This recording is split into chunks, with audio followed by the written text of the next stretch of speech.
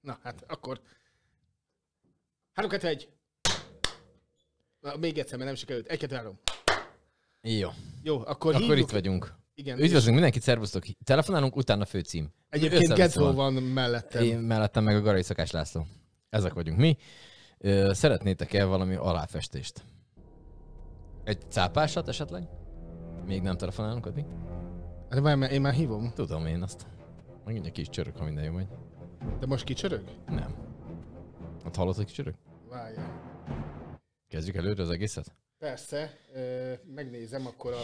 Várj, itt kell a, a, lesz. a, Ott nézd csak. Az kell? Mi kell neked? a Bluetooth. Bluetooth? csatlakoztató, csatlakoztatva van a híváshoz. Hát itt van, igen. Nem kékül, mint a De akkor miért víz nem? alatt a gyerekfej, vagy minek szokták azt mondani, mindegy. Itten, az kéne, hogy már ottan... Édes jó Isten. Mi lenne velünk, hogyha nem ez lenne? Most kicsönk, csak ott. Az a bajunk. Pedig ide van csatlakoztatva. Szia Attila, figyelj csak, visszahívunk megint, mert hogy nem sikerült Technikailag vagyunk egy kicsit teljesen így hülyék. maradjunk Köszönöm egybe. figyelmet. Többet nem tudok. Úgyhogy mindjárt, Mindjárt mindjárt újra hívunk. És közben engem is hívtak. Lehet, hogy már. Rácz Attila hívott engem is közben. Szóval ez, eddig, ez eddig izgalmas. Igen, és, és megnyugtató, hogy, hogy valamiért ez most így működik. Na. Hát csatlakozzál, aztán csatlakozzál vissza. Igen, Szerintem az a ez, ez a haditervem. Jó, de jó. Na hát addig, így. addig mesélj, mesélj arról, Meséljek hogy valami? Mi történt a mesél? kezeddel. Ö, nem tudom, belement valami, egy ilyen hosszabb szálkaszerű. Várjál, de ért- most elvileg ez Na. már is sikerült. Komolyan mondom, ilyet. De most csönd van, most közben beszélhetni. Aha. Jó, valami jó, valami történés van. Hát ha. Hello, sziasztok! Hey, ez a milyen, jó van, szerbusz. Szerbusz, végre itten vagy már, most tiszta idegben voltunk, hogy mi történik. Nagy tapsot kapol te, nem mi, mert mi bénák vagyunk. Minket inkább egy ilyen kellemetlen röhögés kísér útunkon. Szerbusz, Rácz Attila vota- vonalban. Tehát néha ez egy kicsit, Sziasztok! Szavasz, ez egy kicsit tényleg megterhelő tud lenni, hogy egy mobiltelefont egy keverőpulthoz Bluetooth-on keresztül Jó, sokkal, sokkal összetettebb. Nem kell ilyenkor, nem, nem mond, ez, ilyenkor mondjad, hogy nem mi vagyunk a hülyék, hanem rettentő bonyolult De én ezt, rendszer. elvá- mit nem, én ezt elvállalom. Ne, tehát, mindegy, tehát, jó. Na mindegy, hagyjuk. Jó, akkor tényleg köszöntünk a, az adásban, és ugye azért beszélgetünk veled, azért hívtunk föl, mert hogy, hogy Nyakunkon lassan- a május. igen, és akkor itt két fontos esemény is lesz Szegeden. Az egyik az ugye a május 1 és a majál is, ami gyakorlatilag egy ilyen, hogy mondjam, bemelegítő rendezvénye igazából a Szegedi Borfesztiválnak, és erről a két eseményről beszélgetünk akkor most egy kicsit veled. Kezdjük akkor, hogy mondjam, időrendi sorrendben ha- haladva akkor a, a majálissal. Mi mindent lehet tudni a, az idei rendezvényről? A Liget, Záportó és a többi, de akkor átadom neked a szót, parancsolj. Idén most négy napos lesz a majál is, ez mindig ugye attól függ, hogy éppen május 1 hogy esik, most május 1 az egy hétfői napra esik, és igazából itt már április 28-án pénteken délután uh, beindul a buli az Erzsébet ligetben, és az egészen majd május 1-ig uh, fog tartani, ugyanis hétfő este fog bezáródni ez a programsorozat. Ugye szokásos módon az Erzsébet, Erzsébet ligetben lesznek a fő programok, ahol számtalan koncert, sztárvendég, vendéglátósok, vidámpark várja majd a, a családokat és a, a környékbeli turistákat. Én azt gondolom, hogy április 28-án pénteken már munka után érdemes lesz elkanyarodni a liget felé, hiszen ismét majd nyüzsgéssel és programokkal fog megtelni a sétány. Már ezen a napon elindul a vidámpark, lehet hintázni, célba lőni, eljönnek a laci konyhák is, majd sülnek a kolbászok, hurkák. Kb. És hát, mikor, ö, bocsánat, kb. mikor nyitnak délután? Tehát kettő-három Hát felé? Vagy, a, vagy ez... az ö, délelőtt kezdenek el bepakolni, attól függ ki milyen ügyes. Én azt gondolom, hogy három óra, négy óra fele már mindenki nyitva lesz, és Aha. akkor lehet fogyasztani bármit, és akkor még valószínű, hogy a forgóknál se kell sorba állni, és akkor rögtön meg lehet Tehát aki hintáztatni négyig, aki, aki, mielőtt. Igen, aki négyig dolgozik, az negyed ötkor már ehet és foroghat. Ö, Szerintem először forogjon, utána ezt egyen. akartam mondani, hogy nem biztos, hogy a sorrend jó. Oké, így. Ö, és főleg utána így jó. nem biztos, hogy jó, hogy egy pár korsó sört megiszik, és utána forgózik egy. Főleg ez sütkobásszal kísérve. Gyerekvasúttal. Igen, az meg az végig kell vicces. Ja. Oké, okay, bocsánat, szóval mutatottál, hogy jönnek a sütősök is. Igen, igen, úgyhogy finom ételek lesznek, jó italok, úgyhogy szerintem mindenki megtalálja ott a számítását. Gyerekeknek lesznek, lesz kürtös kalács, lángos, kenyérlepény, üdítő, tehát minden, mindenki jól tud szórakozni. A pénteket azt egyébként egy ilyen bemelegítő napnak szánjuk, és akkor este azért tettünk egy koncertet, a Szegeden híres az Indigo zenekar, sokszor szoktak játszani, mm. ők 8 órakor lépnek föl ott a nagy színpadon. És akkor tulajdonképpen az ő koncertjükkel zárul ott 22-23 óra környékén a pénteki nap. Szombaton majd a fő föllépőnk az 19 órakor az idei év, vagy már nem tudom, hogy tavaly volt, vagy hogy volt, az a lényeg az X-Faktor legutóbbi győztese a Sólyom Berni lesz, és akkor utána a Buligánok zenekar zárja majd az estét, ott egy jó kis ilyen koncerttel lehet rá táncikálni. Vasárnap 11 órától kezdődnek a programok, különböző iskolák bemutatják tánccsoportok, amit tudnak, főleg ugye kisgyermekek, és akkor e, délután 17 óra 30-kor a Szegediek nagy kedvence egy ilyen slágermixer jön Várkonyi Tibi, és utána pedig 20 órától a Ladánybene 27 fog koncertezni. Majd Tibi visszajön, és akkor ott késő estig mehet a buli. Május, vagyis április 30-án vasárnap a Záport tavat is bepöccintjük, ott már reggel 10 órától Csigaduó koncert lesz, utána ilyen hip-hop bemutató, és 15 órától a, a fő előadó az Csonka Pici lesz, ő egy órán át fog zenélni, és akkor utána is még fölküldünk egy zenekart, a Pumpkins triót, és egészen ott ilyen 5-6 óráig biztos, hogy tudnak szórakozni a kilátogatók. És hát ugye hétfőn az a május 1 az a főnap, ott 11 óra 30-kor van a híres Fricsai Ferenc Húvós zenekari koncert a Ligetben, utána folyamatosan programok, és 19 órától az útközben zenekar lesz, majd 21 órától Irigy Hónaj Mirigy koncerttel zárjuk ezt az egész majálisos történetet. Ők hányan jönnek most, azt tudod-e? Azt hiszem, hogy négyen tudnak most csak eljönni, tehát nem az egész zenekar jön, mert azt hiszem, hogy azok nyolc fő lenne. Igen, akkor, hogy, hogy ők így, hogy mondjam, többféle felállásban is szoktak. Többféle felállásban, hogy... igen, igen, ez jelentősen átfüggő. Most nyilván a számokat nem lehet kiadni, de ez ilyen exponenciálisan növekszik. Uh-huh. A ligetbe egyébként nemrég néztem rá a térképre, ilyen 95%-os már a kiállítók listája, körülbelül egy 100 standal fognak találkozni a kilátogató szegediek. Aha. Na most ugye ez most még odébb van egy-két héttel. Mit tudtak ilyenkor, mert ugye a szabadtéri rendezvények általában az időjárás szokott volt lenni. Én, hogyha jól láttam, akkor én már azt láttam, hogy ott már akkor egészen jó idő lesz. A mostani ilyen helyzetjelentés szerint. Két hétre előre nem szoktunk nézni, mert Igen, tulajdonképpen az, az ilyen... Nem releváns. El, eléggé vakon van még akkor az időjárás jelentő csapat, tehát hogy ezt már többször bebizonyosodott. De ezt nem rosszul jósolt... mondtad most, hogy vakon van, hanem tényleg ez Nem van. tudnak, hát nem, három napnál tovább nem látnak. Nem tudnak. Persze. Igen, pontosan. Tehát mi azt szoktuk nézni, hogy talán rendezvény előtt öt nappal már elkezdjük nézni, de volt már arra példa, hogy öt nappal előtte egy adott rendezvényen azt mondta, hogy végesni fog, és egy cseppeső nem esett, és teljesen jó idő volt. Uh-huh. Tehát ja, nem tudom, szoktuk magunkat ez. előre ezzel stresszelni, mert hát nyilván szabadtéri rendezvény, mi mindent megteszünk a szervezés és a lebonyolítás érdekében, de hát az időjárás nem tudjuk befolyásolni. Igen. Na most a, amit én látok, az, az 28-tól 1 egy ilyen 20 fokos nappali hőmérséklet, éjszaka is csak ilyen 9, tehát hogy nem fog nagyon visszahűlni az időjárás.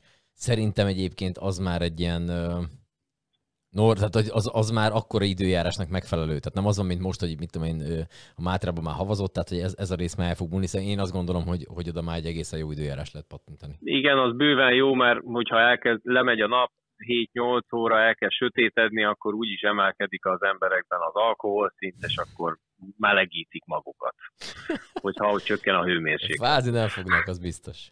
Nem, az biztos. Tehát lehetőség lesz fogyasztani. Oké, és Nézzük akkor, hogy mi mindent tudsz már mondani a Borfesztiválról. Ugye gyakorlatilag egy hónap múlva, vagy hát már négy hét múlva... Már ilyenkor... zajlik egy hónap múlva, igen. Igen, igen tehát ilyenkor, ilyenkor már, már javában ö, ott vagyunk a, a Széchenyi téren, meg, meg tényleg mindenhol a, a belvárosban. Mi minden tudható most a, a szervezésről, arról, hogy, hogy, hogy mik lesznek a, a fesztiválon? Hát röviden előjáróban azt tudom mondani, hogy most már így, hogy a hidivásár szervezését is átvettük, és most pontosan látjuk a kiállítók számát, meg mindent, így azt lehet mondani, hogy most már a Szeged Napja ünnepség sorozat az ország messze legnagyobb gasztrokulturális rendezvénye lesz. Eddig is az volt, csak így, hogy hozzánk került a hidivásár, így aztán így minden a mi égiszünk alatt fog menni. Közel sincs ekkora sehol az országban, mint így a Szeged Napja ünnepség sorozat. Nyilván egy zenei fesztivállal nem hasonlítjuk össze, mint egy Sound uh-huh. vagy egy Sziget, az más kategória, de ilyen gasztrokulturálisban mi leszünk a legnagyobbak és a leghosszabbak. Ugye hát ez május 12-től 21-ig lesz, Uh, ugye a Borfesztivál, ami klasszikusan ugye Széchenyi tér központ, a Kárát utca, Klauzár tér, Dugonis tér, ez ugye dübörök uh, tíz napon keresztül, és akkor uh, második hétvégén péntek, szombat, vasárnap Domtéren lesznek koncertek, és ugye második hétvégén szombat, vasárnap zajlik majd a hidi vásár is.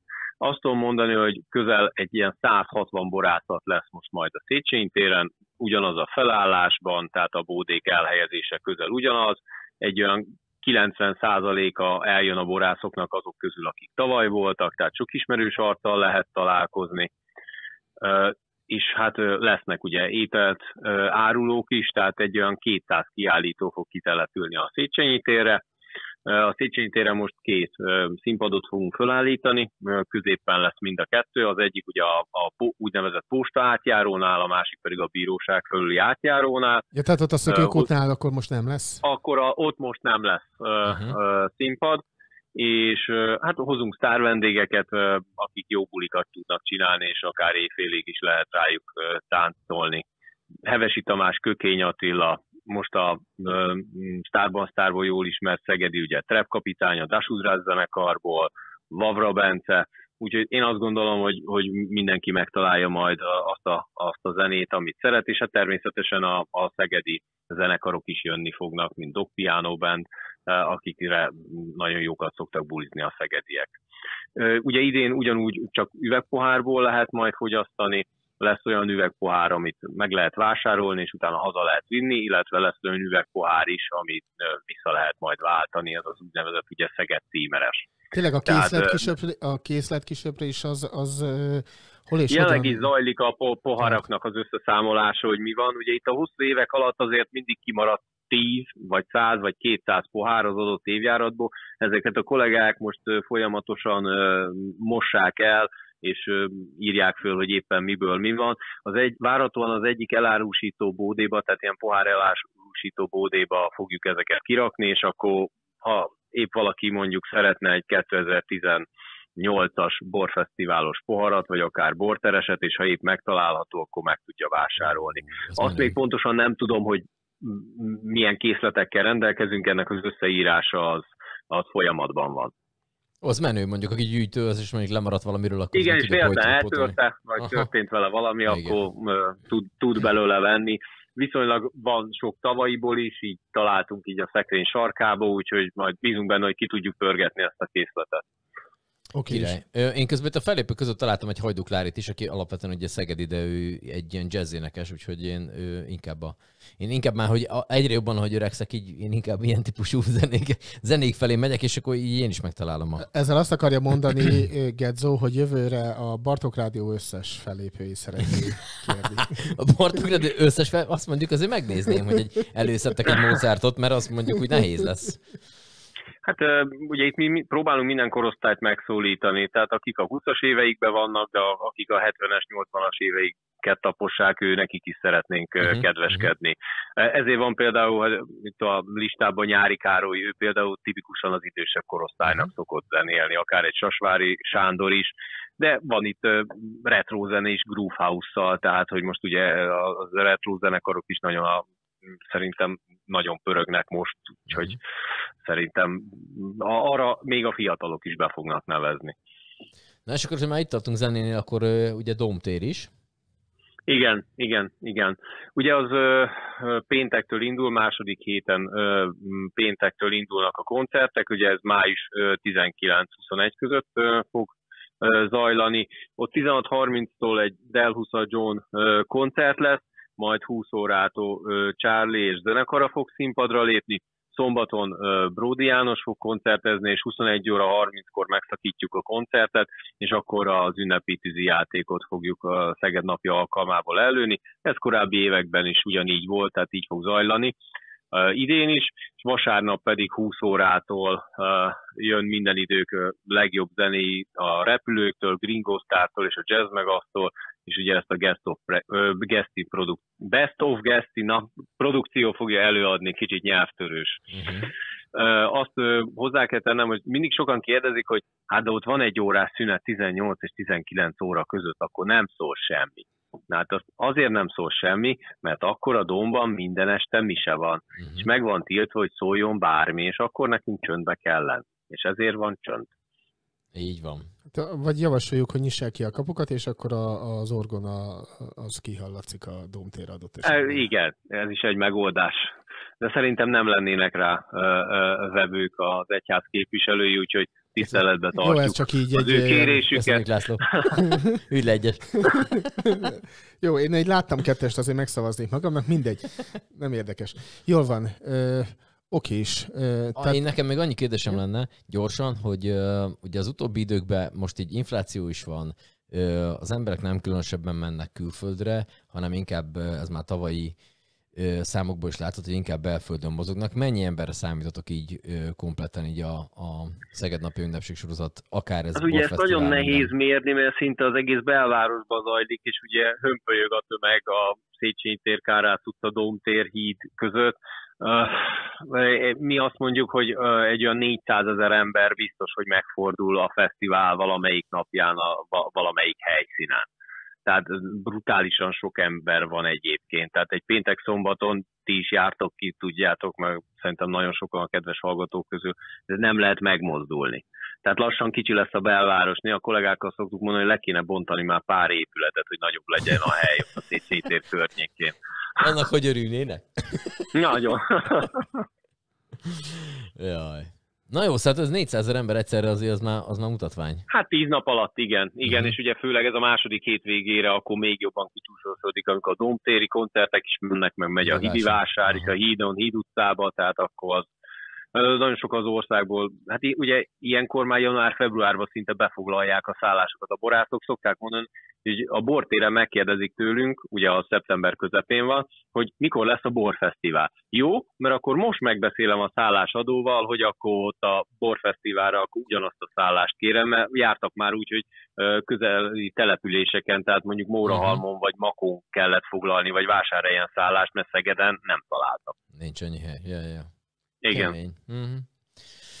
Na, Na hát legyen így idén is, hogy, hogy tényleg így ez is kellemes probléma legyen, hogy, hogy hol szállnak meg adott esetben a, azok, akik messzebbről jönnek, mert az akkor azt jelenti, hogy, hogy gyakorlatilag tényleg béna ezt így mondani, de teltházas lesz a, a rendezvény, hiszen egy szabadtéri dolog az így, ahogy te is mondtad, hömpögő tömeggel viszonylag nehezen tud teltház lenni, de a lényeg az, hogy, hogy jó sokan legyenek, és, és tényleg jó idő legyen akkor is, és érezze jól magát. Megvigyék a város jó híret mindenfelé. Igen, hát én kiegyeznék a tavalyi idővel, ott azt hiszem, hogy egy, a tíz nap alatt, a, a keddi napon volt egy délután 4-től 5-ig egy ilyen szemerkélő eső, és ezzel le is tudtuk, úgyhogy én azt gondolom, hogy idén ez, ez, ez is megfelelő lesz nekünk, hogyha ezt tudja az időjárás prezentálni. Na, hát reméljük. Egy okay. minimális eső kell, mert állítok annélkül nincsen. Tehát, hogy én, én ja. járok, hogy legalább egy délelőtt valamikor essen egy öt csepp, és akkor azzal le tudjuk, tehát nem akarok én nagyobbat, csak hogy...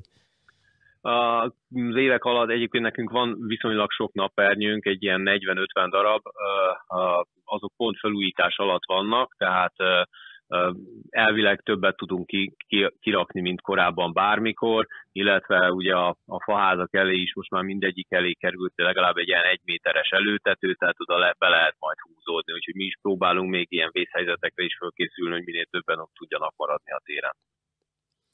Na, ez még egy jó hír. Oké, okay. hát nagyon szépen köszönjük. Köszönjük akkor Attila, hogy elmondtad ezeket nekünk, és hát akkor találkozunk majd. Ó, bocsánat, az még Na, egy? Picit, Na, picit azért föltartanálak titeket. Tehát ugye uh, idén a hidivásárt is mi fogjuk szervezni, és csak így pár, pár számot még hagy Jó, mondjak okay, hozzá, rendben. hogy mi most úgy számolunk, persze az utolsó pillanatig változhat, hogy a Széchenyi téren, tehát mondjuk ebből főleg a borászok teszik ki a legnagyobb részét, de a kajásokkal együtt egy 200 kiállító lesz, Kárász utca, Klauzár tér, Dugonis tér, és ugye a második hétvégén a Dom téren mintegy 150 árussal fognak találkozni az emberek.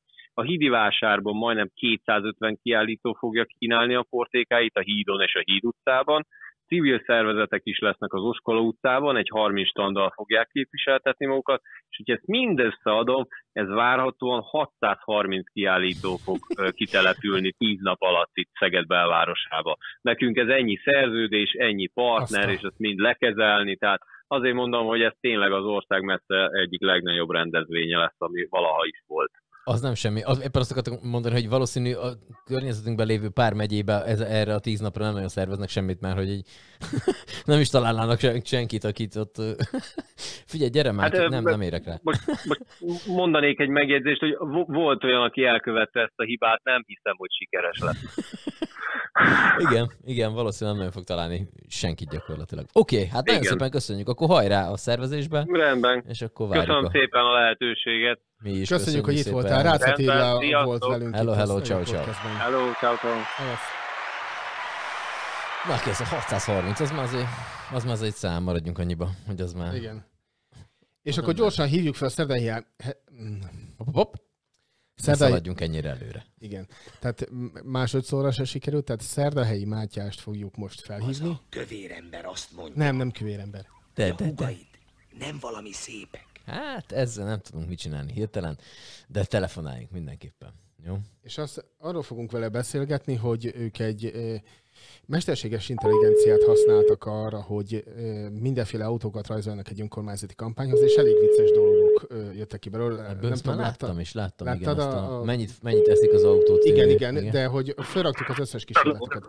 Galai Szakás László, szia! Hello, szia! Hello, hello! No, Szerdahelyi Mátyás van itt Szervusz, velünk. a NASA űrállomásról, hogy hallom a háttérben. Ott egy kicsit vízhangzunk, ja, azzal tudsz valamit csinálni? Uh, Most igen, megpróbálok. Talán nem. Oké, okay. jó lesz az. Hát egy forgalmas lecsesztem el. Aha, Mert az volt. Bezavartak a ufók. Előfordul az ilyen. Szervusz. És azért, azért, azért forgalmas ez az út, mert még a szegediek mindig viszonylag sokan járnak autóval, hogy így átkössek ez, erre a, a dologra, amiről most beszélgetünk. Ez, ez egy kicsit béna volt. Hát igen. volt ez jó. Na, szóval azért telefonozunk, azért, azért hívtunk fel, mert hogy a Szeged önkormányzatának rajzoltatok egy ilyen kampányhoz mindenféle pénzabáló autókat. És elkövetted idézőjelbe téve azt a hibát, hogy jól megmutattad a, a, gyakorlatilag az összes kísérletet, amit, amit így a mesterséges intelligencia megpróbált nektek így felajánlani.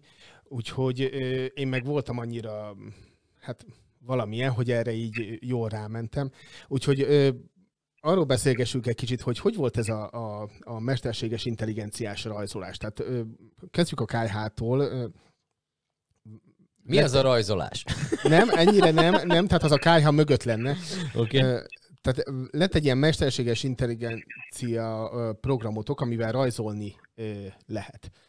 És azt arról írtál, hogy egy viszonylag hosszú bejegyzést, hogy gyakorlatilag azért nem, nem annyira egyszerű ez, mint ahogy azt egy átlagember így a, a most a nagy mesterséges intelligencia űrületben gondolja. Milyen tapasztalataitok voltak, amíg, amíg készült ez a, a bizonyos autó, ami aztán kikerült a, a plakátra? Uh-huh. Igen, kicsit ezért is írtam a, a, azt a posztot, mert most azt hiszem, hogy pont annak a, abban a korszakában vagyunk a, a mesterséges intelligencia használatnak, vagy hát most ezt így hívják, de egyébként ez nem definitíve mesterséges intelligencia, ezek nagyon okos algoritmusok, amik képesek különböző formát egy hatalmas adatbázisból dolgozva át kell nézeni. Tehát ez a program is úgy működik, hogy én szöveget adok neki, megmondom, hogy mit szeretnék látni, és utána ő ezt, ahogy értelmezi, ezt átfordítja képekké. De szerintem, hogyha az ő szemszögéből kéne mondani, akkor nem képekké, hanem pixelekké, amik egymás mellett vannak, és különböző színűek. Mert az ő elméje vagy adatbázisra az úgy működik, hogy azt mondod neki, hogy macska, akkor ő azt fogja tudni, hogy ha a macskáról van szó, akkor milyen színű pixeleket, milyen sorrendben érdemes egymásra rakni, hogy a, annak a valószínűsége, hogy ez egy macska legyen, az nagyon magas.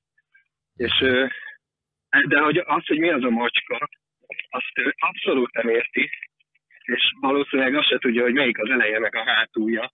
És a, az én posztommal erre akartam, nem is, hogy fölhívni a figyelmet, inkább azt gondolom, hogy ez tök érdekes benne. Hogy ezért fogalmaztam úgy, hogy olyan, mint hogy egy csecsemő, aki tényleg alapvető dolgokat nem ért, hol az eleje, hátulja, két tárgy egymáson helyezkedik el, hogy se érti azt a fizikai viszonyt, hogy, hogy ők egymáson helyezkednek el.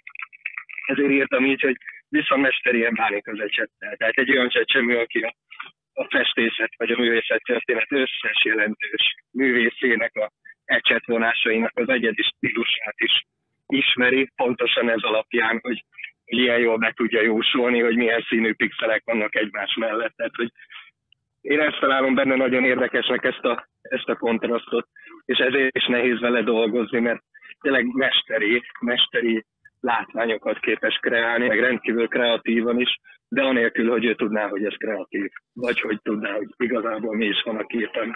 Uh-huh. De gondolom ez addig is lesz jó nekünk még a mesterséges intelligencia, csak ezeket a dolgokat ugye, és nem ismeri azt, hogy macska. Tehát, hogy, mert utána, ha ezt már tudja, akkor már lehet, hogy baj Utána van. akkor már jön Sarah Connor, és akkor lehet, hogy jól megölik. Ezt, Skynet Hát igen, ez egy, ez egy jó kérdés, eddig szerintem azért van még egy tizenvalahány évünk, és szerintem azért izgi most ezeket látni, vagy tapasztalni, mert hogy ez most a, nagyon az eleje a dolognak, de a végén az lesz igen, hogy ő pontosan érteni fogja, hogy, hogy mi az a macska.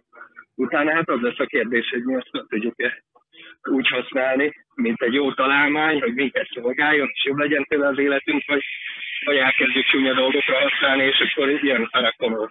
És, és bízunk benne, hogy megmentünk ezt, az... sem. Aha, ez elég durva ez a szám. Azt mondtad, hogy egy tíz, tehát hogy az ember azt gondolná, hogy ez a mi életünkben már nem fog bekövetkezni, de mondtad ezt a tíz évet, ez azért nincsen nagyon messze.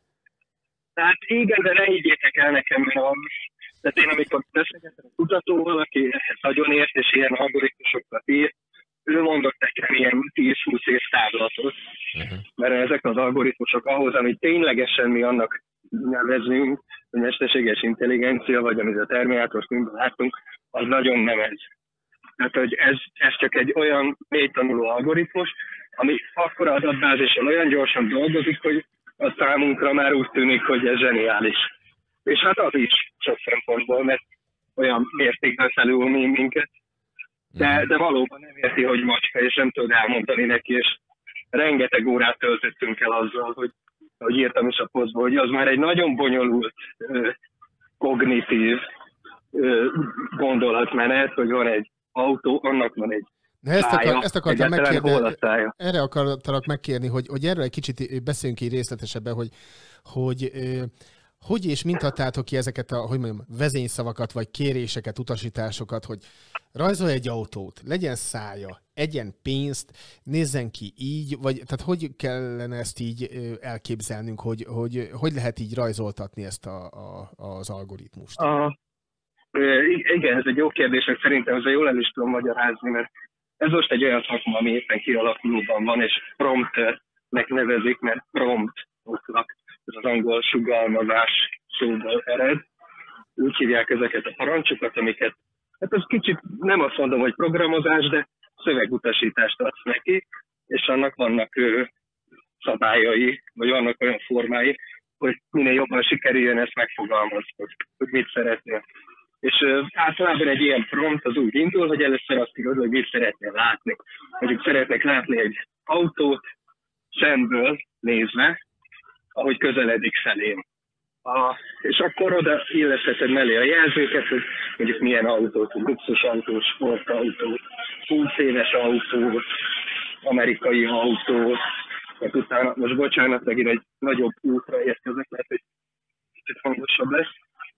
De hogy általában a promnak az első része ez, hogy a fő elemet meg kell rajta nevezni, hogy mi az, amit látsz.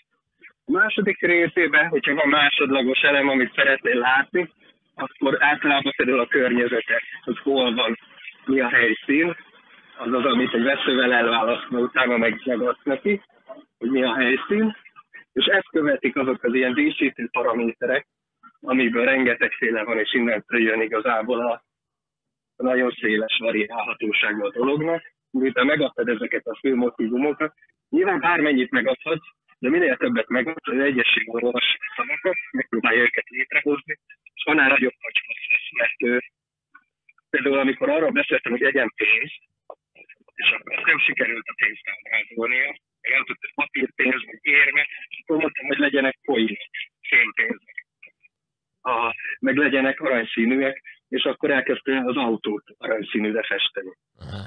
Tehát így, így kell érteni azt, hogy nagyon nehéz megmondani, mert nagyon részletesen mondod meg, akkor is lehet, hogy egy-egy jelző, vagy szó átcsúszik, kihagyja, ez ő el, és senki sem érti, hogy mi alapján.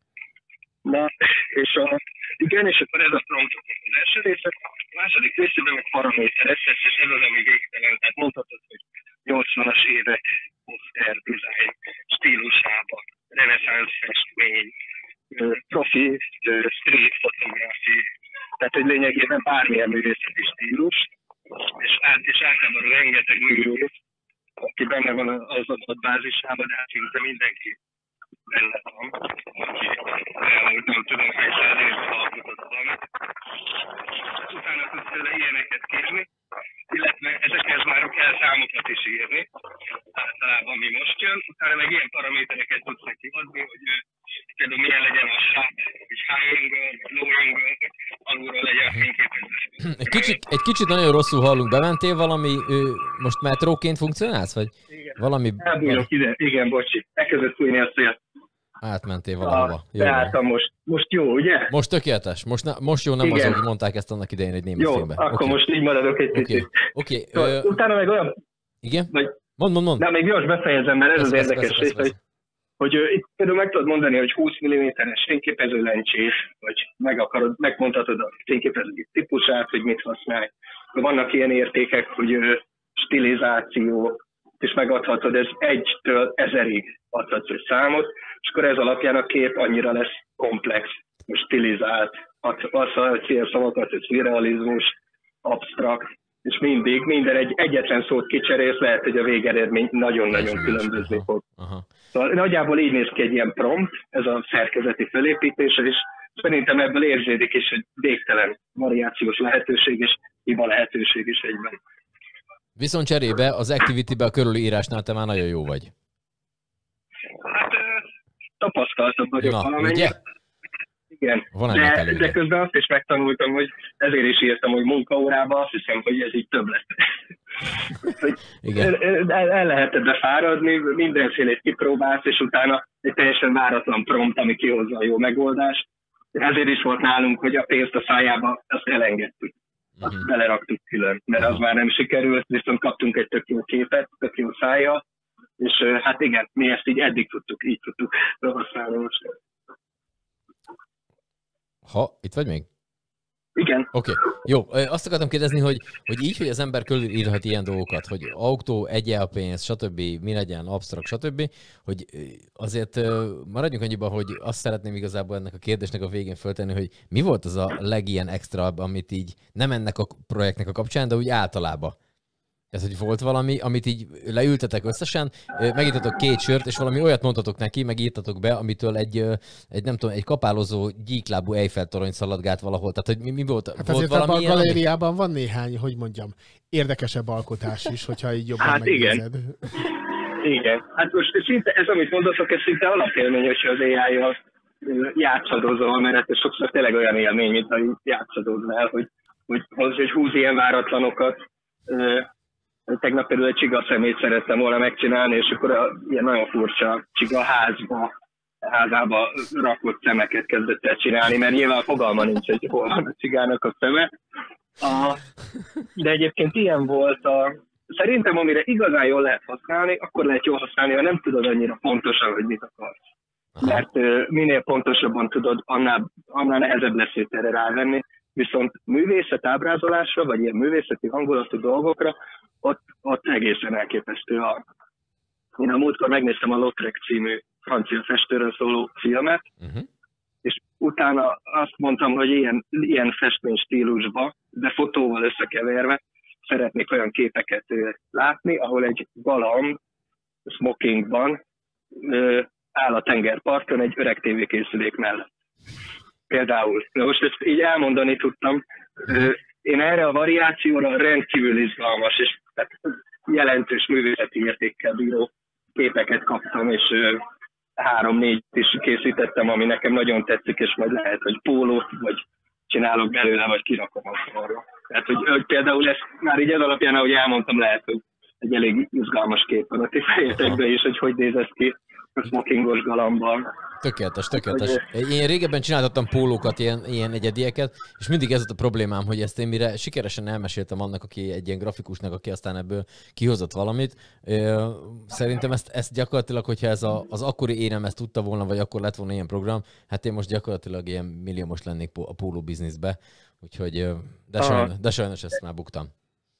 Egyébként tök jó az a példa, amit mondasz, mert pont ez a nehézsége, hogy én is nem tudom hány évtizedet csinálok mindenféle dizájnokat, és pont ez a nehéz, azt is mindig azt tapasztaljuk, hogy nagyon nehéz elmondani, amit te vizuálisan látsz a fejedben, úgyhogy a másik értse. A, és itt pont erről van szó. Pontosan erről, hogy szövegre fordítod le a képi dolgokat, és ez az a nehéz átjárás, amit mondtam, hogy nem sikerül eltalálni, hogy én mire gondoltam, de sikerült eltalálni valami tök mást. Ja, Igen. ja, ja, ja. Oké, és ö, ezeket az autókat felajánljátok esetleg a Verdák horror változatához? Vagy lesznek belőle tanulmányautók a valóságban. Vagy igen, tehát Hát, ilyen tanulmányautók lesznek lenne. benne. Hát igen, hát bármire. Egyébként ez, ez érdekes még a dologban, hogy, hogy a másik részen is beszéljük, hogy hány munkahelyet fog ez majd elvenni. Mi is azért Mhm. kezdtük el, és úgy is kezdtük el a folyamatot, hogy mondtam a grafikusunknak, hogy na most ezt azért csináljuk, hogy ismerjük meg, hogy, ő- hogy mi az, ami összességében fenyegeti a munkánkat, mert Aha. Mert hogy nagyon jelentősen, és mondjuk filmiparból ismerőseim mesélték már, hogy milyen, tehát, hogy milyen iszonyatos munkát ki tud váltani ez az eszköz, de rengeteg designernek. Tehát pont a design szakmának a teteje, mondhatnám, hogy szerintem a teteje az illusztráció készítés, ahol érted a perspektívákat, érted az anatómiát, ezeket évekig tanulják. Na hát pont ebbe legyőzhetetlenül ügyes a, az AI, és de például logotervezésben is már nagyon ügyes, most már az ötödik verziónál jár ez a szoftver, amit mi használunk. Abban is nagyon ügyes, de a mi grafikusunk pont egy logótervezési ügynél én arra azt a megbeszélést úgy építettem már, hogy az AI-jal csináltam koncepciókat. Ő mondta, hogy felszívta magát rajta, és csinál sokkal jobbakat. Tehát, hogy még ez a dolog megvan, de egyébként a, valóban én azt gondolom, hogy ez, hogyha pláne, hogyha fejlődik tovább, nagyon sok mindent át fog alakítani, hiszen nálunk sokkal ügyesebb, sokkal gyorsabb eszközről van, eszközről van szó, és valóban ez szerintem rengeteg munkahely. Hát finoman szólva át fog alakulni ennek köszönhetően, de szerintem inkább megszűnni. Aha. Oké, okay. hát figyelj, ö, utadra engedünk, menjél tovább nyugodtan, most már ott a, kimehetsz az aluljáróba, vagy nem tudom hol vagy, de mennyi intézet, köszönjük szépen, hogy rendelkezésünkre álltál, Köszönjük, további jó munkát, és akkor velünk. amikor már elvesztetted a munkádat ez miatt, akkor nyugodtan várunk valami, valamit tudunk szerezni, jó? Jó, oké. Jó. Oké, okay, köszönjük szépen. Köszönjük szépen. Szevasz, ciao, ciao. Köszönjük. Hello, sziasztok. Hát Hello. ez egy, ez egy érdekes, volt, és mindenféle érdekes. zajok egyébként. Így is van, őt Adjál te is zajt. Zajlok, egy tapsot mindenképp megérdemel, illetve egy ilyet, hogy Nem, az... nem, ez a háttérzangoknak, ez a háttérhangoknak Értem. volt. Figyelj csak, most már akkor add be a szignálunkat is. Most már a- tényleg a végén, hát akkor legyen egy valami. Híres nevezetes Tiszai partfürdő májustól szeptemberig a szegedi ős és a vendégek nagy játszótere.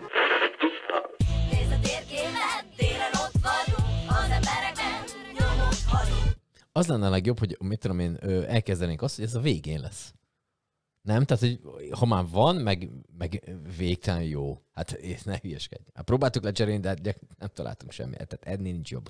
És akkor ezt, hogy ez azért mindenképpen tényleg. szerepeljen a, az adásba, így a végére Hát rakjuk. akkor játszott be meg annyiszor, annyiszor akarod. Persze, az Hát is igaz, csak hát nem akarnánk azért hallgatók, hogy erre menni. Ennél jobban. Ja, ja, a, Na, ugye? Na, tehát a, Oké. Okay. Azt akartam mondani még az animációval kapcsolatban, hogy ö, a Coyote 4 lelke című filmnek volt a közönség találkozója a belvárosi moziba, ez most volt szerdán. tanult kollégát Csomán Sándor Csomán Sándor volt a, moderáció, ne? Így van. Én máshol szoktam moderálni, és akkor így azt mondtuk, hogy már most nem mozizgatunk, hanem moderálgatunk lesz majd a, a podcastnak a neve. És igen. Majd ezután mondjad, hogy akarja kérdezni valamit, folytasd. És, ö, és ott volt az, hogy kérdeztük a Gadaránot, a, a, a filmnek a rendezőjét, hogy ö, ö, nyolc év alatt készült el a, az animációs film, de erről majd a mozizgatónkban beszélni fogunk, hogy ö, kérdezte ott az egyik srác, hogy technikailag, ugye nyolc év alatt rengeteget fejlődik a technika, és kérdezte, hogy ezzel, ezzel mi volt a, a történet, és mondta a rendező, hogy hogy ő például már a végére azt érezte, hogyha embereknek megmutatta, akik értenek hozzá, hogy mint hogyha ő ilyen fejszével csinálta volna még mindig az animációt, közben pedig már lehetett volna máshogy is, de mondta, hogy ő nem akarja ezt, mert hogy mindig kijön valami frissítés, és az nem nagyon tudja, de mondta, hogy gyakorlatilag sokkal gyorsabban meg lehet már csinálni, mint ahogy ezt ők, ő annak idején elkezdte csinálni. És ugye ez egy ilyen kétdés történet, tehát nem az van, mint a, a, a tényleg, ténylegesen térben is elhelyezett animáció. Mert mondta, hogy ez egy külön szakma, meg azt mondja, elkezdték azzal csinálni, de hát pff, mondta, hogy ezt, akkor még nyolc év lett volna, hogy abból legyen valami. Egyébként csak ajánlani tudom, aki még elkapja, elkaphatja, és akkor kapja is el a moziba, akkor jött négy lelkét, mert ez ilyen mozira van. Tehát, hogy értem én, hogy van streaming, értem én, hogy otthon is meg lehet nézni, értem én, hogy otthon is vannak nagy felbontású és nagyon szép és drága televíziók, már készülékek, de hogy, de hogy a mozi élményt az, az akkor adja vissza, hogyha azt tényleg oda elmegyünk, és akkor hogy többekkel együtt ezt így jól megnézzük, és nagyon szép és jó lett a film, úgyhogy csak ajánlani tudom. Na, ennyit akartam csak így by the way. Akartam valamit kérdezni? Igen, hogyha már így a Mozizgatunk Podcast meg filmkritikusság szóba került, hogy Igen. akkor ö, mit szólsz a filmkritikushoz filmkritikusként? Na, ezt ennek ugorunk neki még egyszer, milyen filmkritikusnak a milyen, hogy? Hát a Tarantino megszellőztette, hogy akkor a utolsó film az így... Lemaradtam, én most nem voltam internet Ja. ja. közelben, bocsáss. Ja jó. Tehát mit, mit csinált a Ja, Tarantino? mert hogy a 4G-d az igen el... A minden game elszállt a búbánatba. Igen. Hogy ö, így utalt rá, hogy ö, filmkritikus ez a, a, hogy mondjam, a munka címe az utolsó filmjének, és elkezdte ezt csinálni, de hát akkor... Filmkritikus. Ö, Ez egy nagyon érdekes dolog, akkor erről beszéljünk. Egy mindjárt megmutatom neked. Jó van. Addig kezdje beszélni, mert anélkül is tudsz, persze. Szóval ez, egy nagyon érdekes dolog az, hogy, hogy egy ember, ugye nyilván mindenkinek a véleménye szubjektív. Tehát én most nekem, és megmutatunk egy képet, mondjuk ezeket, nekem nyitva van most itt a laptopon ezeknek az autóknak, amikről az előbb beszéltünk. Átküldtem a- közben. Oké, okay, köszönöm, hogy megnézem. És akkor uh, van egy ilyen autó, ami nekem például nagyon tetszik, mert lekerekített, mert a színe olyan, mert a fogai olyanok, meg, mert a szeme olyan, meg az egész nekem így tetszik. Na most ezt te megnézed, és te meg azt mondod, hogy hát, hát nekem így nem tetszik, mert szerintem ez inkább lenne olyan, hogy alul ne gömbölyű legyen a foga, hanem fölül, és alapvetően nekem ez nem tetszik. Szóval az, hogy különbözőek a véleményünk, az nyilván egy tök, tök normális és egészséges dolog. Abban a pillanatban, hogy én megnézek egy filmet, akkor én, akkor ezt, és én nem tartom magam filmkritikusnak, ezt azért gyorsan tegyük hozzá. Jó, ezzel csak így, na, mindegy. Nem, a Sanyi, a Sanyi, ő filmkritika, filmkritikus is, meg ő ugye ír többféle portára, illetve ö, filmkritikát tanít az egyetemen is, tehát hogy ö, ő tényleg ezt így rendesen csinálja. Én azt, hogy bűtöletes mennyiségű filmet láttam életemben, és nekem van egy rálátásom a filmekre, az egy másik dolog, tehát hogy az, az megint nem, tehát én nem fogok filmkritikát írni, én elmondom a saját véleményemet a filmről, de az nem biztos, hogy egy filmkritikának megfelelő.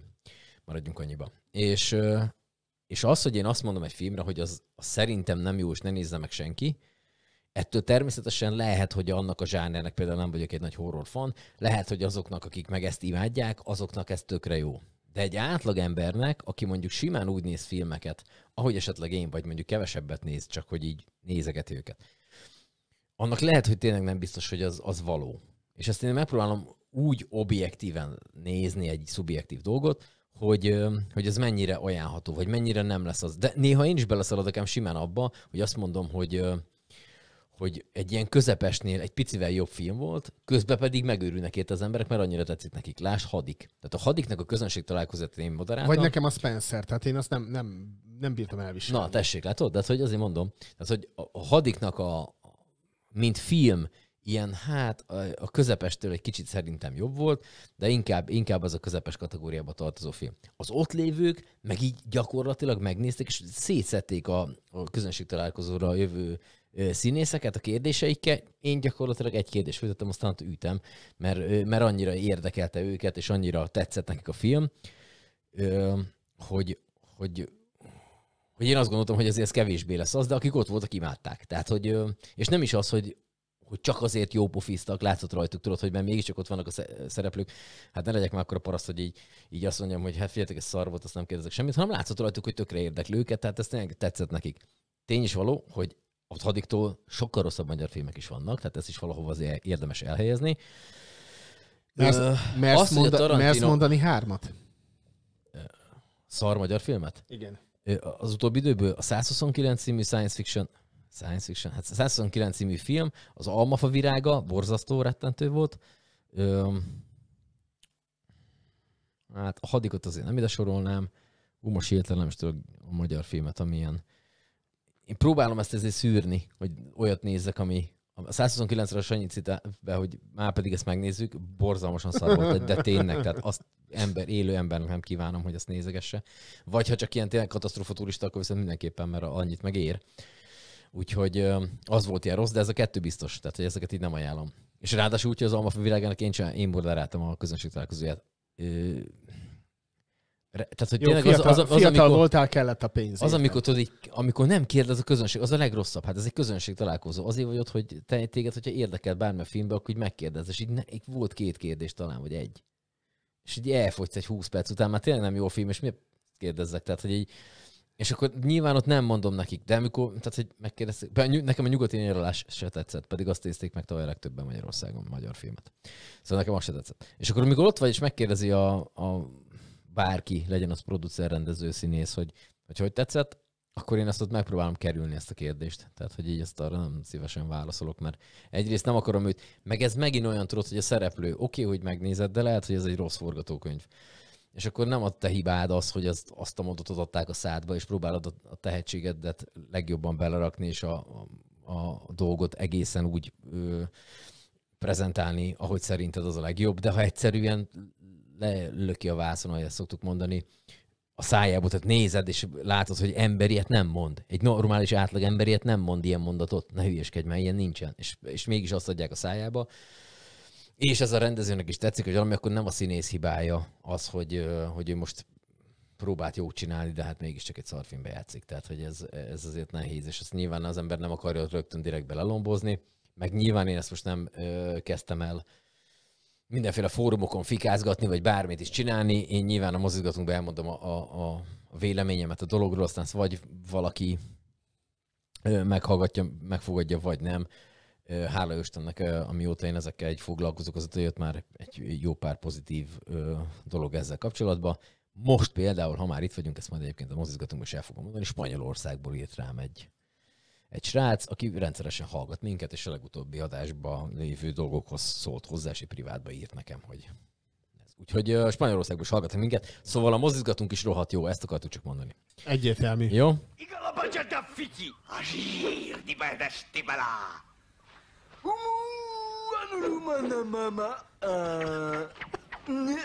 És ez a Székely József. Dika! Kázsidala! Brdi berdi! Oda! Berdi Berdi. Kadasti rigi! Na hát így, így, így. Nem bírja abba hagyni, rettentő nagy harcban van. Na így, jó, legyen elég most már. Nyi, nyi, nyi! Nyik, nyik, nyik. Ha, ha van valami az életben, ami csodálatos, az a kincs, ami nincs beánuló. Szóval ez, ez, És- ez egy igazi kincs, hogy ilyen végtelen szarszó vicceljék. Erre, hogyha mondjuk azt mondták volna, hogy figyelj, ez nem jó, vegyük már fel újra, akkor, akkor úgy, hogy érezte volna magát? A székhelyi vagy a csába, aki az angolot játszotta? A székely. Szerintem ne, ebbe a verzióban nem lehetett rosszat. Tehát, hogy a Székely egyébként is zseni volt szerintem, hogy a másrészt már legalábbis szinkronba biztos, a szimpati, sok szimpati szerepét nem láttam, de hogy szinkronba baromi jó volt, az biztos, és hát szerintem ott gyakorlatilag az, aki vette föl, hiszen az 80-as évek jócskán, ott az ember, aki a, az üvegfal mögött ült, és ott tolgatta a potétokat, hogy az nem húgyozta össze magát a röhögéstől, azt, tehát ezt nem hiszem el. Tehát, hogy ott az gyakorlatilag szerintem olyan szintű vinyogás volt, hogyha valaki látta, gyorsan aztán abba fejezem ezt a filmes vonalat, hogy volt egy film a magyar szinkronról, és ott meséltek arról, hogy hír, a híres Pannonia filmstúdió, ahol ugye rettentően sok szinkron készült egy időben, meg csak ott készültek szinkronok még, annak idején, hogy ott ez ilyen iszonyat nagy olvasztó tégeje volt a budapesti színházi életnek, meg színészeknek, hiszen mindenki más színházban játszott, volt, aki nem is játszott egymással, viszont a szinkronban találkoztak, és hát ott, amik mondta, mesélték, mesélt egy-két arc, hogy, hogy ott tényleg ott ilyen közös cigizések, büfézés, és ilyen írgalmatlan röhögések. Tehát, hogy az, amikor még szerintem, hogyha valami drámát vettek föl, akkor is kijöttek, és akkor ezt így ezt ilyen rettentő nagy röhögése, hiszen, hogyha valaki nem tudná, ezt gyorsan elmondom még, aztán tényleg befejeztem, mert ebbe bele tudom magamat nagyon lovalni, hogy régebben ez úgy nézett ki, hogy volt egy mikrofon középre beállítva, és akkor ben volt az Agárdi, a Stankai, a mit tudom kicsoda, és akkor volt egy jelent, amiben közösen benne vannak, akkor azt úgy fogták, és akkor azt közösen csinálták meg. Ugye most már ott tart a technika, hogy én is tudok szinkronizálni akár ebből a stúdióból is, hogyha éppen úgy van, megkapom a szövegkönyvet, meg, megkapom azt a részét a, a filmnek, amit kb. látnom is kell, hogy, hogy milyen lendülettel, sebességgel csináljam, a, a, vagy hévvel a, azt, a, azt a mondatot, hogy mondjam föl. Itt fölmondom, átküldöm, összevágják, és akkor megvan, tehát hogy ezzel már nagyon nem kell csinálni. Ott meg így egy, egy légtérben volt mindenki. Kicsit visszamennék egyébként abba, abba a korba oda belenézni. Na mindegy, nem is tudom, mi volt az eredeti kérdés. Ja igen, a filmkritikus kapcsán a Tarantino. Figyelj, Tarantino eddig nem csinált rossz filmet szerintem. Rosszabbat lehet, hogy csinált, vagy jobbat csinált, de rossz filmet még szerintem nem csinált, lehet, hogy elvakult vagyok. Idén fogom egyébként befejezni, elkezdeni és befejezni, a, mert hogy idén 60 éves Tarantino, egy könyvet, amit elolvastam, és újra nézem az összes részt, de erről már beszéltünk múltkor. Szóval, hogy szerintem ez a filmje is jó lesz. A kérdés az, hogy is, mint Luc Besson, aki megígért, hogy 10 filmet csinál, az azóta csinálgatja folyamatosan a filmeket, hogy mennyire lesz ő ebben, ebbe tudatos, és akkor tényleg azt mondja, Jó, hát az na, akkor 10, LGT-nek, és akkor az LGT-nek is volt búcsú koncertje, Ugye? kettőnél több. Ugye? úgyhogy- Na, azért mondom, hogy soha nem mondhat soha. Úgyhogy hát remélem, hogy baromi jó lesz. Hát Tarantino- annyit, Tarantino annyit lehet egy- róla egy- tudni, te is látod, hogy 70-es évek Los Angeles-e, és hogy egy nő lesz a, a főszereplő majd. Mm, Tehát, a köré íródik. a lábát biztos, hogy mutatják, hiszen Tarantinak van egy ilyen lábfétise. Ez Azért biztos. is úgy ül, ül azon a képen úgy. Hogy látszódjon a lába? Szép ember. Nem szép ember. ez a- De Hogy hasznos. Nem, a, mi volt a, Buga Jóska nem szép ember, de Gavallér. Na, körülbelül az Tarantino is valami ilyesmi, hogy így nem szép ember, de cserébe legalább jó filmeket csinál. Meg ő egyébként egy másik, na jó, ne, ne váltsunk valami témát, Jó, mit szólsz a dekorhoz? nagyon jó a dekor. Ez egy, ha még valaki csak hangban, nyugodtan fogdossad. hangban, Meg. ez gyerekméret, nem? Persze. Ez valami kis, kis, kis labda. Ez egy Green Bay ö, amerikai focilabda. És azért, azért van így, mert körülbelül olyan állapotban vagyunk most, mint ahogy az a labda. Tehát egy kicsit ilyen löttyet most a csapat. Igen. És még mindig nem tudjuk, hogy mi a helyzet a, a Hát még, rogers még rengeteg idő állt, április 14 Így rakom, hogy látszódjon a logó. Most hova kapkodjunk? Hát, na. A Packers látszódjon. Jó. Hát igen, még az odébb van a, a szezon kezdete. Én most olvasok egy ilyen NFL-es könyvet, és már most a vége felé járok, és pont most a, a Packers-os uh, irányítóról, az, a Rogers előtt volt, arról olvastam egy. És mi van a fávról? Hát, hogy milyen, milyen élete volt a pályán kívül, tehát hogy azért nem egy ilyen visszafogott ember volt, aki ő azért bele-bele csúszott egy-két buliba. Aztán próbálta azt így átszoktatni magát. Szóval egy érdekes, érdekes dolog ez a, ez a profi sport, főleg, hogyha ez pont az amerikai foci. Úgyhogy uh, meg közben rá, NBA van, NBA van. Na igen, Tehát ezt ez is akartam nézek mondani, ki hogy- úgy, mint macskát szarni, mert ugye én közben próbálom ezt így élőben nyomon követni, de hát ez fél kettőkor kezdődik, meccs meg hajnal négykor. Tehát, Tehát hogy, a, a Minnesota Los Angeles meccsnek is a végét bőven elég volt látni. hát figyelj, az én a- aznap, aznap helyettesítettem a rádióba, fölkeltem négykor, elkezdtem nézni, majd bementem, ott folytattam, és akkor 7 óra körül lett vége neki. Tehát négykor kezdett, hétig elhúzott, mert a hosszabbítás Igen. volt. De az a hosszabbítás is hogy lett, te jó Isten. Tehát, hogy ilyen, na ezért érdemes ilyeneket is nézni, de hát nyilván az, aki mondjuk nem szeret a kosárlabdát, hiába próbálok itt hosszasan beszélni arról, hogy amikor már csak fél perc van vissza, és 95-95 Nem, az azon, állás. azon lepődtem meg, hogy, hogy gyakorlatilag az utolsó másodpercekben hazai csapat ellen valóban befújtak egy személyi hibát, amit gyakorlatilag Na, ez egy nagyon érdekes az kérdés, erről 15, külön... 15 szezonban nem fújtak be. Nem. De. Nem? Ilyen nem. helyzetben lehet, hogy nem fújták be, de, De ezeket a faltokat beszélek, hogy befújják. Hogy ilyen helyzetben soha az életben. De befújták, és egyébként tökéletesen, szerintem, te, szerintem jó fújás volt. Persze. A többihez képest, tehát hogyha ezt simán megnézi valaki, azt mondja, hogy ez nem falt, ez barhaság. De ahhoz képest, hogy ezt az NBA-be magát azt, hogy mondjuk valaki egy három pontos dob, tehát fölemelkedik, eldobja a labdát, és aztán vagy bemegy, vagy nem, de hogy a védőjátékosra egy kicsit így rámozdul, vagy ráesik, akkor az már falt, pedig a védőjátékos nem csinált semmit, pedig ezt az NBA-be befújják. Tehát, hogy és akkor utána vagy három dobással nem ment be, vagy ha bement, akkor még plusz egy dobás, tehát hogy azért még, jobb, még ki lehet jobban jönni egy helyzetből. És hát így ugyanez volt, hogy Davisre így ráfújták ezt a faltot, és ö, 95-98 volt a, a már ugye egy Igen, Dennis Schröder dobott egy a három pontos, hármast, igen. így van, utána az, a, hát az is zseniális volt. Ugye Dennis Schröder német játékos, bármennyire is furcsa hangzik, hogy az NBA-be játszik és fekete, de hát az a pofátlanság, amit ott a, a, a Minnesota az- pad előtt, igen. azt ott bemutatta a hármast, és azok az arcok, az zseniált, végig az lass, lassítva vagy ötször megnéztem. Üm, és akkor így lett 98-95, és akkor egy három pontos kísérlet után a, a, a Davisre ráfújták ezt a fatot, tehát jött darab három darab büntetődobás. Ha bármelyiket, mert hogy 0,1 másodperc volt vissza, ha bármelyiket elrontja a dobó, akkor gyakorlatilag itt vége a mérkőzésnek, és a Lakers jut tovább rendes játékidőbe. Na most természetesen ez a fickó bedobta mind a hármat, meg nem, meg nem mondom Conley. volt. Conley. Kami volt? Na mindegy, bedobta mind a hármat. Így De jó, 90... jól mondtam a nevét, kár, kárgonyolódni, tehát Conley-nak hívják. Kanli, jó van, nem ilyen. Ja, jó, azt hittem, hogy ez egy ilyen poén volt. Oké, Ja, okay, nem, nem, tovább, nem, visszasértődtem. Nem, ö, hanem hogy bedobta mind a hármat, 98-98, és akkor hosszabbítás. És ugye ez a, tehát, ö, hogyha valaki nem tudná, ez a mérkőzés az nem olyan, hogy így jó, hát ha elbuktuk, akkor majd másikat megnyerjük. Aki itt nyer, az bekerül a já- rájátszásba. Aki nem, annak még egy sansza van, de gyakorlatilag azért azt már jó lenne nem, nem kihasználni, hogy még egy plusz meccset vívjanak. És ez ugye ma éjszaka lesz pont konkrétan ezek a mérkőzések. Miami, Chicago, illetve Oklahoma City, ö, Minnesota Csak mérkőzések. fordítva. Tehát Oké, Minnesotában jó, oké. igen. Igen. Na, úgyhogy, ö, úgyhogy kíváncsi, kíváncsi leszek, hogy mit történik. Ugye ezek a csapatok jutnak be rájátszásba, és a rájátszás már kezdődik holnap utántól. Ugye ott meg ott ugye az, annyi van, hogy ott négy nyert meccsig kell menni, és hogyha véletlenül kikapsz egy meccsen, akkor sincs rettentő nagy probléma. Ezeken a meccseken viszont nyerni kell, mert aki nem nyer, az bukta bulit. Ez izgalmasak ezek, csak azért mondtuk el. Jó van. De akkor figyelj csak, akkor csináljunk egy ilyen izét, mert te is... Tipsmixet? így, Vagy mit? Egy ilyen házi tips mixet? Igen, tehát akkor mondjuk el azt, hogy akkor mi a túró lesz. Tehát az első körre akkor.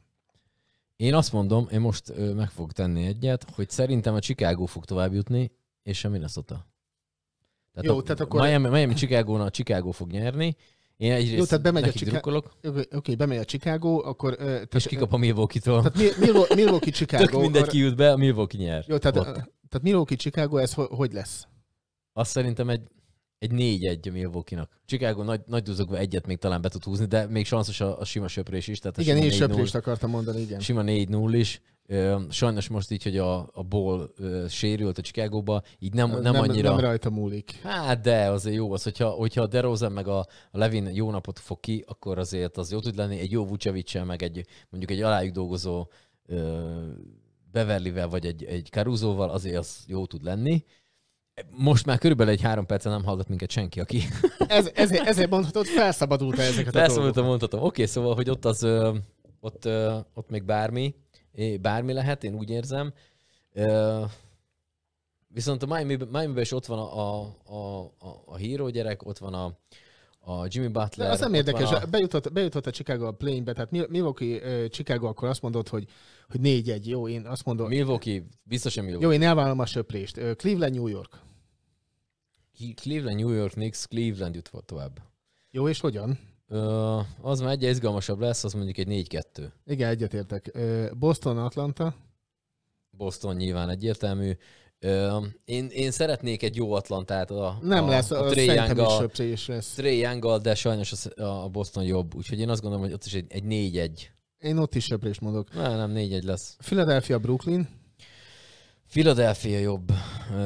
Brooklynból ugye elvitték az összes nagy nevet, de így is egészen jó helyet állnak, úgyhogy, úgyhogy nekik egy nagy pacsi mindenképpen, de az Embiid felálló uh, 76ers fog nyerni, úgyhogy Philadelphia. Szerintem ott is egy 4-1-4-2 talán. Jó, szerintem az is söprés lesz. Ah, kemény, kemény Tehát vagy. hár, hár, igen, három, három söprés lesz keleten, a, Cleveland lesz 4-2 szerintem. Oké. Okay. Denver, Minnesota. Teljesen mindegy, Denver, Denver, Denver jobb. Caldwell Pope valószínű, itt ugye kérdés, hogy Embiid vagy Jokic lesz az MVP az alapszakaszban, hogy ez a legértékesebb játékos. Most, hogy nem játszottuk, akkor is nyertek. Tehát nem játszott a Jokic, akkor is nyertek. Nekem Caldwell Pope már korábban is nagy kedvencem volt, amikor még a lakers játszott. Ott az most úgy szépen össze van állva a Jamal Murray-vel, meg mindenki. Tehát a Denver az erős most. Úgyhogy Denver nyer. Egy 4-1-4-2 ott is én azt mondom. Én a, mivel Minnesota drukker vagyok, ezért 4-3-at mondok, de igen, tehát, Oké. Okay. tehát így kiesik. 4-3, jó, jó. Okay. Igen, Phoenix Clippers. Í, ott elmentek a Suns, a Phoenix erősebb, a Clippers pedig egy, nem tudom, most a Paul George fölgyógyultam el, ott egy Kawhi leonard története, ott a Zubáccal azért még ott az erősek, tehát én azt, azt, azt, azért, azt azért nem írnám le olyan nagyon, ott egy, ott egy 4-3 lesz, de a Suns fog tovább jutni. Szerintem, nem, 4-2, 4-3. szerintem nem lesz 7 meccs. Igen, 4-2-vel tovább megy a Phoenix, igen. Jó. Jó, akkor a haverod, meg a Lakers. Haverom meg a Lakers. A haveromét nyernek, tehát hogy a, a rettentő tehetséges és szerintem zseniális, ugyanakkor féleszű Zsamorántal fölálló, fölálló Memphis Grizzlies tovább fog jutni.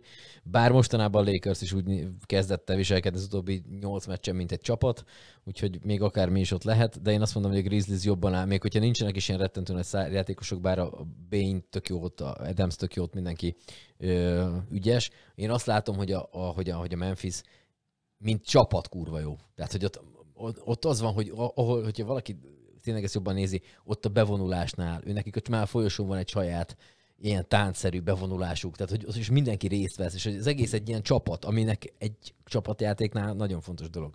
Még a Lakersnél van egy LeBron James, van egy Anthony Davis, van egy kettő-három olyan srác, akik még így be tudnak oda rántani, de hogy elméletileg ők viszik el itt nagyjából a, a, a mutatványt, és azt szerintem kevés. Úgyhogy én szerintem a Grizzlies fog nyerni 4-2-re. Szerintem meg 4-3-mal a Lakers tovább megy. Hopp! Na végre egy, egy ellentmondás. Kíváncsi leszek erre. Ugyanúgy kíváncsi leszek a, A Sacramento Sacramento Golden State. State. Golden State párharcra. A Warriors a tavalyi bajnok, hát ott, ott azért most már hála Istennek nagyjából mindenki egészséges, ők simán ö, tudnak egy olyat hozni, hogy, hogy nagyon jók tudnak lenni, ugyanakkor simán tudnak balfaszok is lenni, és akkor ott van a Sacramento, akit gyakorlatilag az utóbbi jó pár évben azt tudtuk, hogy mi van, majd a Sabonis a, így megerősödve ö, gyakorlatilag mindenkit meglepve egy simán ben vannak a rájátszásba, és, ö, és még ők is okozhatnak meglepetéseket, úgyhogy hogyha valamit nézni fogok ebbe az összes mindenből, én inkább a nyugati oldali brigádokat jobban szeretem, úgyhogy, úgyhogy a Kings Warriors mérkőzéseket én valószínűleg nézem, és ott egy 4-3-ra a Warriors mondom. Nagy kilódással, de a Warriors megy tovább. Az a baj, hogy én is azt akartam mondani, de akkor, de akkor figyelj csak, akkor 4-2-vel megy tovább a Golden State. 4-2-vel, tehát sokkal jobbak, vagy nem, legalább nem, jobbak nem, egy nem kicsivel, sokkal, mint nem sokkal jobbak, tippem. szoros meccsek lesznek, de hogy mondjam, tehát, ö, tehát a, a, a Kings az még legyen idén egy alapszakasz csapat. Tehát még egy kicsit erősödjenek vissza ebbe a rájátszásos történetbe. És Jogos. akkor És ugye, ugye a Warriorsnál szokták azt mondani, hogy a, a, a rájátszás egészen más, mint az alapszakasz, és azért valahol igazuk van, hiszen ott ugyan egy csapatot kell mindig legyőzni többször egymás után, mint, által, mint folyamatosan utazni egészen más helyre kell időzónákba, bármi. Itt azért kb-ra tudod, hogy, hogy Sacramento-ig kell menni. igen, ott tehát, aztán ráadásul lesz a szomszéd, tehát gyakorlatilag szomszédolás lesz Így van, a, tehát hogy a- különösebben nincs messze egymástól a két város. No, hát nagyjából akkor így fog kinézni, és akkor, hogyha ezeken túl vagyunk, akkor utána jön majd egy következő tipp, hogy mi lesz a vége. Persze, de hát egy, addig mondjunk egy végét. Én azt, mond, én azt tettem meg a tipsmixen, hogy a Grizzlies fog nyerni. Ja, hogy már most a végét? a, hát a- mondjuk egy végét. Ö, Én, én annak örülnék, hogyha egy Grizzlies uh, Bucks Tehát mondjuk a Grizzlies Warriors, az nem tudom, hogy lehetséges-e, szerintem az nem, mert nem lehet főcsoport döntő, szerintem, vagy nem tudom, hogy hogy lesz az Várjál. összerakva. Ö, mert szerintem ott a Suns Clippers győztesével játszik a Kings Warriors győztese, nem? És a Denver, Hát a, a, a Grizz, Gri, a- na, tehát a Memphis és a, a Sacramento Golden State ö, győztese játszik a következő fordulóban. azért mondom, tehát, lehet ott valószínűleg már főcsoportdöntő. én ott egy Warriors Grizzlies-t látok magam előtt, és a másik oldalon én szerintem egy, ott egy ilyen erősebb Celtics Bucks döntő lesz, bár én oda a Clevelandet is oda szeretném valahova rakni. Mindegy, Milwaukee Grizzlies döntő lesz, és a, sajnos a Bucks nyer független attól, hogy a Grizzlies laktam meg a tip Ja, hogy csak a főcsoportig megyünk el? Azt hittem, hogy a, a döntőt A mondom. döntőt most. mondom, hát a döntőt Grizzlies, Bucks játsza. Ja, értelek. Tehát, ö, ez lesz a vége, és sajnos nem az nyer, akit én megtettem a tipmixen. Jó, szerintem meg, Mert ez de, nekem sose szokott bejönni. szerintem meg Denver-Boston döntő lesz, és ö, a négy, ö, négy-hárommal nyer a Boston a végén. Mi jó, ezeket írjuk fel, és majd pipálgatjuk. Nem Jó, kell, tetszik. meghallgatjuk. Újra hallgatjuk. Jó, mindenkinek ezt javasoljuk, hogy hallgasson Szeged Podcastet, mozizgatunkat, illetve Ember Podcastet. Most már ír, írtóra nagy NBA szakértésekben vagyunk, úgyhogy rohadt nagyok, rohadt nagyok vagyunk már megint. Jó, az én mikrofonom megadta magát, most már a földről ülj beszélek. egy kicsit. Hogy, hogyha valaki ezt szeretné, és várjál, itt még volt egy, Az a kövér ember. nem ez már volt, ezt akartam.